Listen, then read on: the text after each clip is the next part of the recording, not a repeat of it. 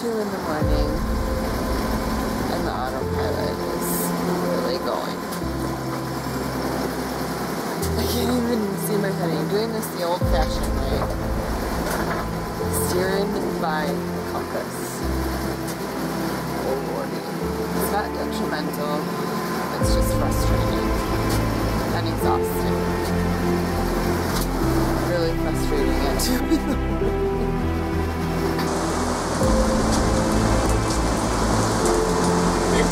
Storm at sea. Just a squall.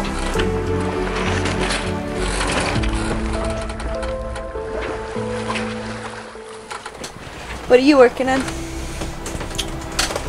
Uh, just plotting out the weather, seeing if we're gonna stay ahead of the ahead of the cold front. Talking like storm force winds in the leading edge, so it's starting. We're really trying to beat it. And it's kind of falling apart. We probably have some stiff stuff, and they're talking like three meter waves. That'd be like nine feet, but I think it can be that bad. And we're really just kind of at this, just kind of staying ahead of it. But yeah, cool. So looking good.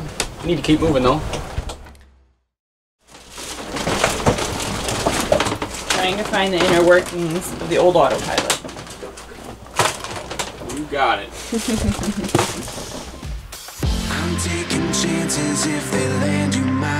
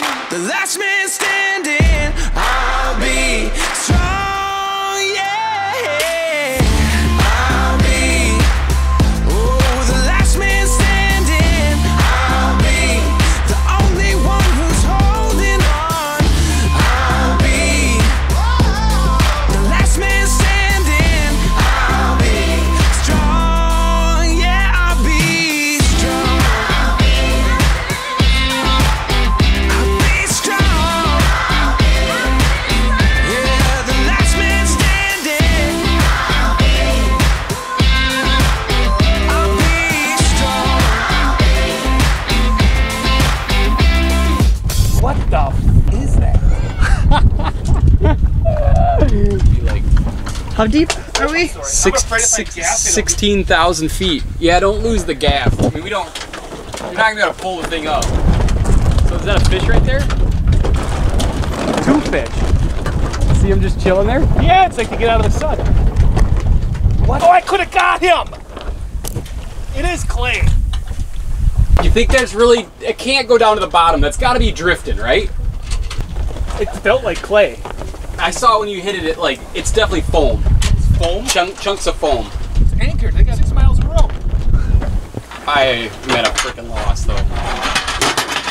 All right, we get back on our course here. Yeah. Just slow down. Wear him out. Patience. Patience.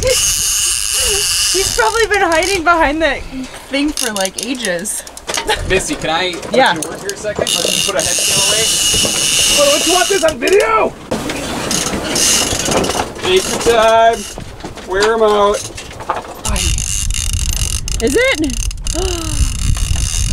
Oh, yep, it's a bullhead, right? Hang on, just keep swimming around. Wait for the right shot. Let's see, Missy, will you give me a winch handle? You go keep it there.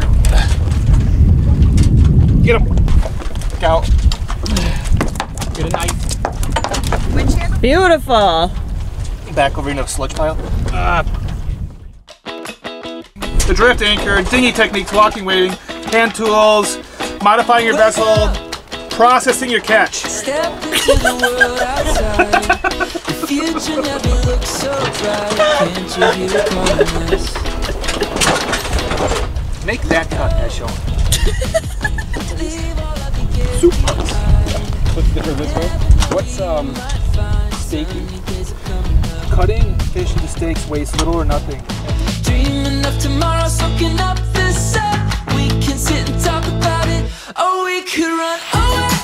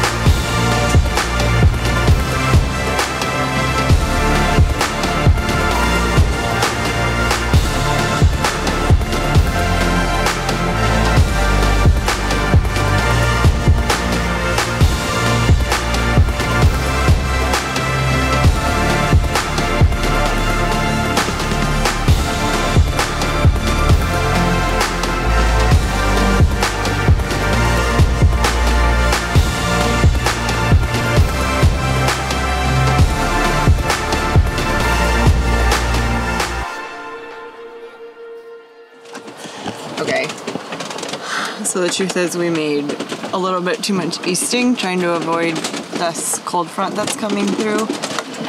Um, we didn't go south, and now we're pounding into a south swell. It's a little brutal, but we'll make it. So I'm just gonna try to take a nap. All the boys trying to figure out the three autopilots we've got going on now. Holy cow. Okay.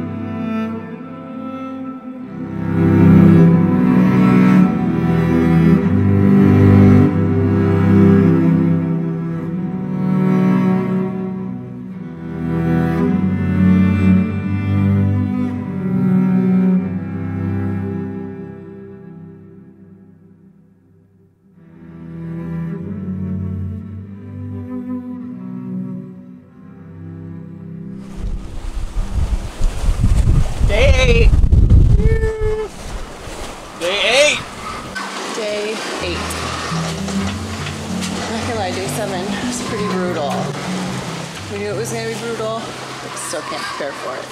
Pounding into the wind. It's pretty big seas. I was just out all day, all night.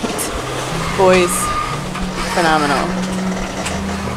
Uh, you go downstairs and it feels like the boat is tearing herself apart.